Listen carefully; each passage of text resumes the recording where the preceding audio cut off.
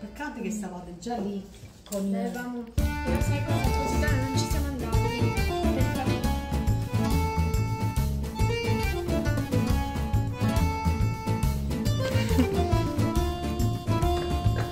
Facciamo le foto poi.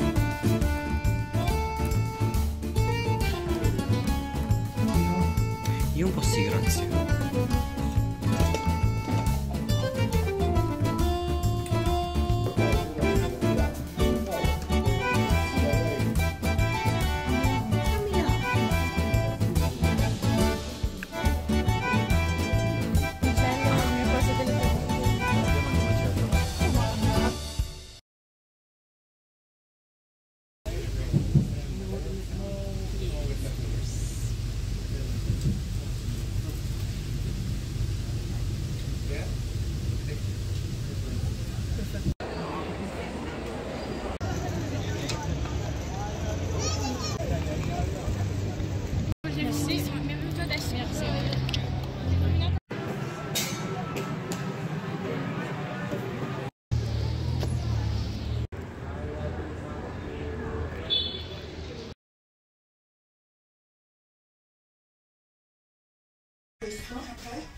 Pronto,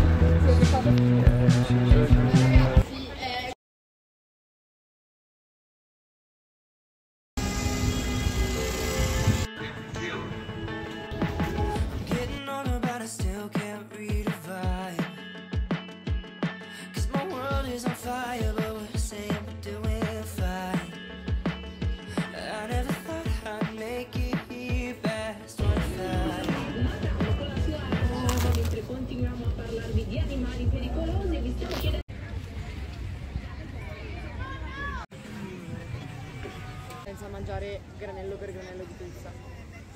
Eh,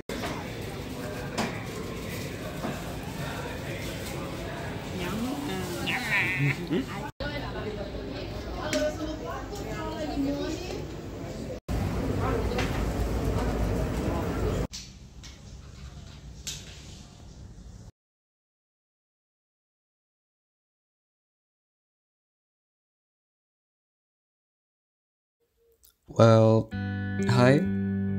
Voice reveal, I guess.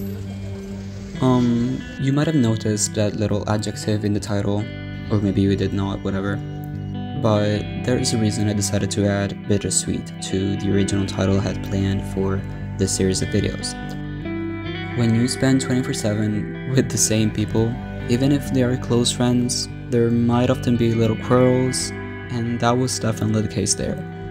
We just had so many different opinions on everything to the point that it became impossible to find a common ground. And our six people group kinda split into two sides.